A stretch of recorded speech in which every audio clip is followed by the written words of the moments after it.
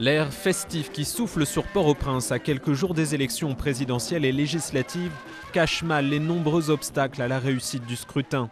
À commencer par la forte abstention prévue par les sondages. Sur les 4 millions d'électeurs inscrits, nombreux sont ceux qui, comme Magali René, n'iront pas voter. Ces élections n'ont pas d'importance parce que j'ai nulle part où dormir avec mes enfants. J'ai ni viande, ni sel, ni personne qui vient m'aider. Difficile de se sentir concerné par les slogans des politiques quand survivre est une lutte au quotidien, ou lorsque le choléra décime les quartiers populaires. Pourtant, l'ONU a toujours poussé pour le maintien des élections. Nous n'avons pas atteint le pic de l'épidémie, ce n'est que le début de la crise. Si on n'organise pas les élections maintenant, quand auront-elles lieu?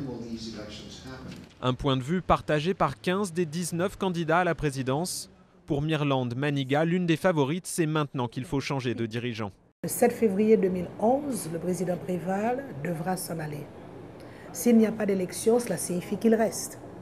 Ou alors nous tombons de nouveau dans le cycle très improductif de gouvernement provisoire qui ne dure jamais trois mois, qui qui dure un an, deux ans. Et je ne pense pas que ce soit bon pour le pays. L'ONU a mis en place un dispositif spécial pour éviter que le vote de dimanche ne soit perturbé par des violences.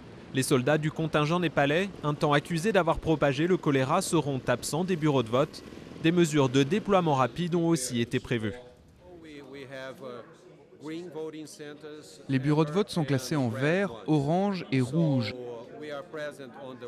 Nous sommes présents sur les rouges, très proches des oranges, et à 20 minutes maximum des bureaux de vote verts.